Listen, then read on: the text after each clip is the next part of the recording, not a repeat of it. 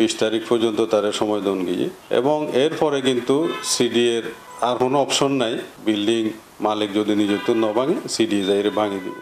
চাই টেলিভিশনের মাধ্যমে আমি মানুষকে আজ আশ্বস্ত করতে চাই যে একটা ভবন, একটা যেটা বড় ধরনের একটা অবৈধ কাজ করেছে।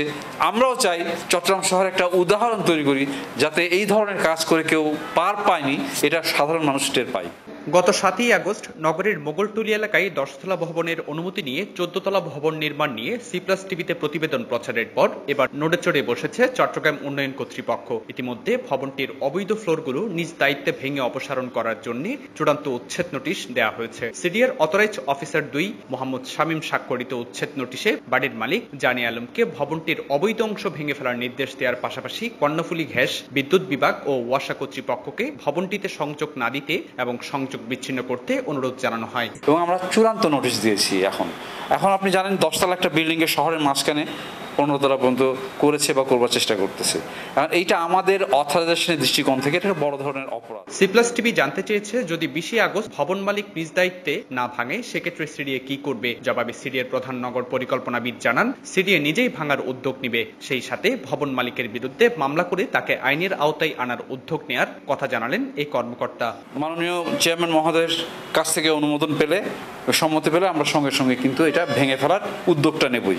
এবং আমরা তা এছাড়াও আমরা আরও একটা মানে সুযোগ সামনে রেখেছি, সেটা হচ্ছে যে যেহেতু এখন সিডিএর নিজস্ব ম্যাজিস্ট্রেট আছে এবং সেই ম্যাজিস্ট্রেট যথেষ্ট ক্ষমতা রাখেন, তো সেক্ষেত্রে আমরা ম্যাজিস্ট্রেট কোর্টে এটাকে মামলা করে দেব।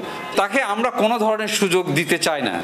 আর কোনো একটা দুর্বলতার, চৌকের কোনো দুর্বলতার সুযোগ নিয়ে সে একটা অবৈধ নির্মাণ করে যাবে এবং সেটা সে ধরে রাখবে এইটা আমরা হতে দিব না। চট্টগ্রাম উন্নয়ন কর্তৃপক্ষের বোর্ড সদস্য স্থপতি আশিক ইমরান জানান চূড়ান্ত নোটিশের পর ভবনটির অবৈধ অংশ ভাঙা ছাড়া আর কোনো বিকল্প নেই। প্রথমে আই সি প্লাস টিভির ধন্যবাদ জানার এই ধরনের এক সমস্যা জনসমুখে তুলে ধরি বেলাই এটা কিন্তু মাল্টিপল ক্রাইমই একান হইলে বিধিমালা ব্যর্থ এর বিল্ডিং করছি।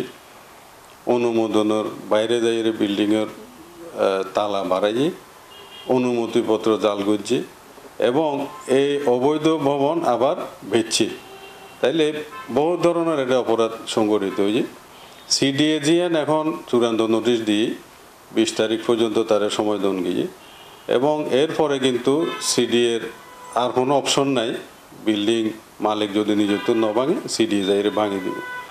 এক্ষেত্রে সিডিএর ম্যাজিস্ট্রেট আছে, এক্সিকিউটিভ ম্যাজিস্ট্রেট আছে এবং আরা বোর্ড সদস্য যারা আছি সর্বসম্মতিক্রমে আরাও কিন্তু এই কঠোর ব্যবস্থা লোনের পক্ষে।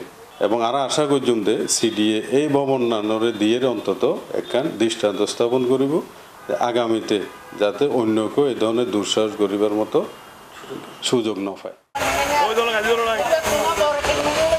Text news C plus TV Chattogram